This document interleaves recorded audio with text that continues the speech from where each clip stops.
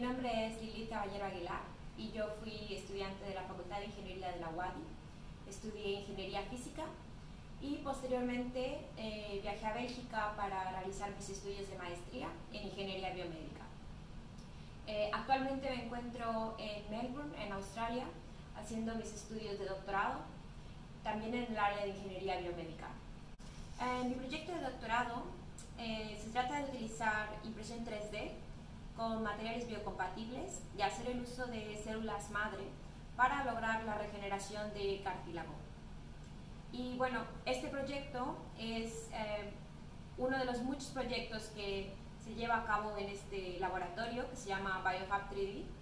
Y este laboratorio está ubicado eh, en medio de un hospital. Entonces, eh, prácticamente el equipo de investigación está conformado por biólogos, por químicos, ingenieros, ingenieros biomédicos como yo, ingenieros físicos también, y también por cirujanos y doctores. Un reto grande que tuve, creo que fue durante la maestría.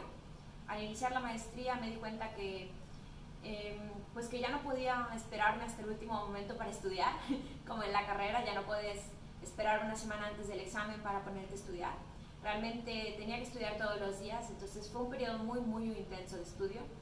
Mm, yo creo que em, ha sido uno de los periodos más difíciles, pero bueno, al final todo valió la pena. Una recomendación que yo podría dar para quienes están empezando eh, la carrera o quienes piensan empezar la carrera en física o en matemáticas o en ciencias en general, tal vez sería que que le demos importancia a todas las materias por igual. A mí me pasó que yo pensaba que algunas de las materias que llevé durante la carrera no me iban a servir mucho, pero de hecho luego me di cuenta que, que esas materias fueron las que inesperadamente eh, más me ayudaron. Entonces hay que dedicarle el tiempo a todas las materias yo creo que por igual. y bueno, por último me gustaría invitarles a que se acerquen a conocer un poquito más acerca del área de ingeniería biomédica y bueno, ciencias en general. Realmente, eh, como dije anteriormente, este tipo de proyectos casi siempre eh, están conformados por gente que tiene diferentes preparaciones, entonces hay más de una manera de llegar eh, a este tipo de proyectos. Se puede llegar desde el área de biología, desde el área de física, desde el área de química. Entonces, cualquiera que sea el área de ciencias en la que ustedes están interesados, eh, continúen en eso.